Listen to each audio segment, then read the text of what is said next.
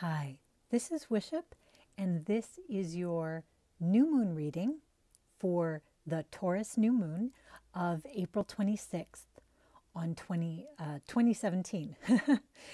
anyway, um, I know you see a sort of playing card back here. The reason is what I did was I took the geomancy glyphs that I've been playing with a lot, which if you watch regularly, you know, um, and I'll also include a link to the Geomancy playlist if you want to know more about how to do Geomancy and understand it and read the symbols and that kind of thing.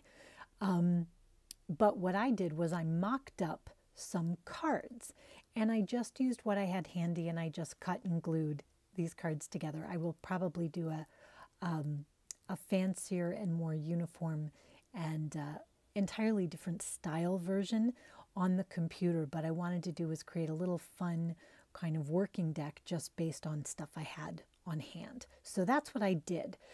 And what that allows me to do is then to flip cards. So even though we call it geomancy and it would use shells or dice or all sorts of methods like that, because I've turned the geomantic glyphs into cards, I can do it as cartomancy too. Um, a typical shield spread which I consider to be sort of like a grand tableau. It's extremely detailed in what you can get out of it, in my view, would be 15 glyphs. So I've actually just made sort of a half deck for myself. So I'm just going to do four cards, four glyphs to make a central line, which would consist of head, heart, belly, and feet. So let me sort of show you what I mean. It'll be easier to tell. So let me just move this little placeholder out of the way. So when I flipped the first card that I'm going to use for the head, what I got was my little card for Fortuna Major, Great Fortune. As you can see, I've got two glyphs on each card. They're the reverses of each other or the opposites of each other. So here's Fortuna Major on this card, and this became our head position. In glyphs, we read the top line is the head, the second line is the heart, the third line is the belly, and the fourth line is the feet. So there's sort of a there's a tradition of breaking up uh, geomancy into these four components. So this is now the card for my head, Fortuna Major, Sun in Leo. Here's red because it's a fire sign.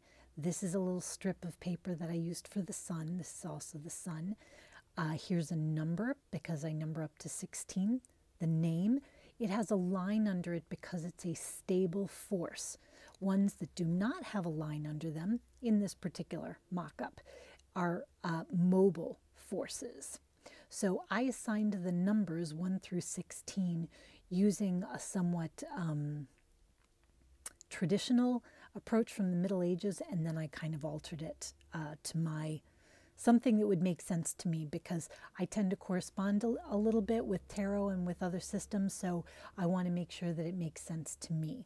Um, the reason why I did this and made these little pictures and cards is because if you look at the traditional glyphs, these are some examples, they're just not very expressive. So it can be hard to remember well, what do they mean? What are they telling me? So I decided if I left the glyphs in the corner of my card, so I always had them for reference, I'd like to turn this into a scepter because that tells me a lot personally about the meaning of the card. So for head, Fortuna Major, the scepter. For heart, actually, this one we pulled Fortuna Minor, which I think of as the magic wand. It's mobile because it's not underlined. It's an air because we've got this purplish gray in back. That's air. It's the sun in air, which is also Leo. Um, I think of it as the magic wand because it's temporary, uh, it's transient, it's a mobile force, and it tends to come from other people. So this is the scepter that we hold, and this is somebody pointing at us, bing, giving us that little uh, dose of luck. So, great fortune and a little stroke of luck. The third card for belly is carcer. This is the card for prison. Um, it's also the card for Capricorn because here's my strip for Saturn. Saturn in Earth. Earth is green. So I've created this stone tomb to express the restrictive nature of Carcer, but also its tremendous strength and determination and ability to persist. So Carcer is what's in the belly, and what's in the feet is acquisitio. Acquisitio is stable, it's fire, because here's the red. This is the little pattern I used for Jupiter. So Jupiter in fire is Sagittarius, which is very lucky. And this is numbered one, like the magician. These are overflowing bowls. I have them as golden bowls. And they are like the, uh, like the golden cauldron that keeps providing and providing and providing. It never runs empty. And it has uh, everything that you need in it. And uh, so it's Sagittarian. So this is my feet card. So I hope that you can see all these. Let me just uh, arrange them a little bit. So if I look at a situation, the Taurus new moon, where I'm going from head to feet, let's talk through where we're at, like the head, what we think, what our ambitions are, our imagination, our perception of things, our sense of self, the heart, what we desire, uh, things that have to do with our relationships with other people. Our belly. This can be um, a sense of courage, strength, what our fears are, too. You know, that the quivering in the pit of your stomach, the butterflies. So, some of that sense of the deepest fears uh, can be in the belly, but also hungers that, that we have. Um, and this is the feet. Where are we going? What do we feel uh, compelled to do? What actions are we participating in or, or being called to? So if I look at the Taurus new moon, and this is just a snapshot, um, but if I look at these four cards for the Taurus new moon, the situation as I see it, reading these cards, are that we're in a position in terms of our perception of opportunities ahead of us that is guided by great experience. We have learned a lot, we have gained a lot. Um, we may even be in a, in a good position of some sort related to our personal sense of authority, our personal sense of power and self.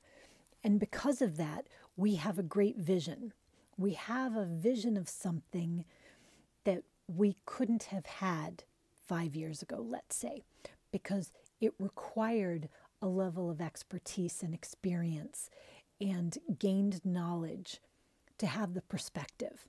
So we have this great vision. Now, if you think about this in terms of the many areas of life, uh, it could be a new business, it could be a new personal plan for yourself. Um, really, if we're talking about the Taurus new moon, it could be something having to do with property. It could be a, a home move that you'd like to make, a beautification program of any kind. So that could be yourself personally that you feel you want to um, beautify. Maybe it's your wardrobe or some other uh, facet of your physical appearance, but it could also be uh, beautifying your property, changing location. It could be improving your financial security, uh, all of these kinds of things. Um, Taurus is ruled by Venus, so there's a certain wanting to have and hold, but um, there's a vision here, and it's a creative vision of some change that you'd like to make that you are uniquely able to see as possible. So there's a little bit, I think, that Uranian quality that's been coming through that you see an unexpected niche. You see something you see something special that you wouldn't have thought of before, and now you do think of it. Fortuna minor in the heart. Um, this sort of represents that in order to achieve this, you may need some help from other people. So it could be the case that, for example, one of the things I thought of earlier, let's say you have a vision for a new home and you've been actually preparing for it. You're well prepared for it, but you need a little bit of help to get it accomplished. So it could be help moving. Uh, maybe you can get into the house, but then, you know, your family might need to help you with a little furniture, things like that. And to be honest, you're in a state of accomplishment that you're a little bit nervous that if you take help from other people, um, you may be beholden to them. What is it going to oblige you to do? If to follow this vision of yours, you take help from other people, is that going to put you in a restricted situation later? Um, are you going to find if you move forward that you can't get out of it? So, this is Leo, the stroke of luck. So, you may need help from other people, or the situation, this niche that you identify, may be coming because of a temporary situation involving other people. So, a situation at work that could have come up because someone's on maternity leave, or there are changes of some type at the office, or there's some other change someone else has made, some moving part that has to do with other people, and this has helped you see your chance. Um, I want to be clear, these are not cards of conquest but they are cards of expansion. So, whatever you're trying to do, you're trying to grow it. You're trying to grow it in a really exciting way. And you're also probably trying to grow it with the thought of leaving a legacy for the future. There is a sense that whatever you're trying to grow isn't just for you, but because you see this unique opportunity, when you blaze this trail, the trail will then become open for other people to follow you. So that's part of what I see here. So, here in the belly, there is a sense of fear that you may compromise some of what you've earned, that you might be limiting yourself, or that you may be uh, committing in a way that you can't get back from. But still, look at all these stable cards stable, stable, stable. There's so much strength here that I think that is only a deep seated fear. I don't think you're going to accept that as the reality. Here, acquisitio, this is Sagittarian.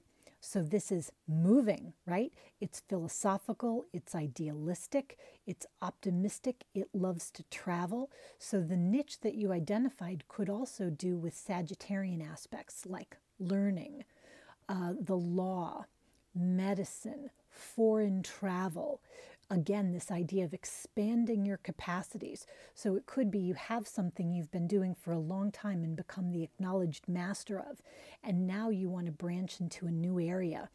And you're worried that people around you may not have as much confidence in your change as you do. And chances are, right away, they may not.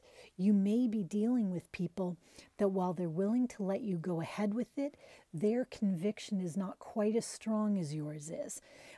And that mean, may mean that you need to go it alone at first. You're in such a strong position and your vision is so clear that I think it would be a shame if you didn't give yourself the chance. And the other thing I'll say is when I looked at the bottom of my little deck, what I got was this card, Via.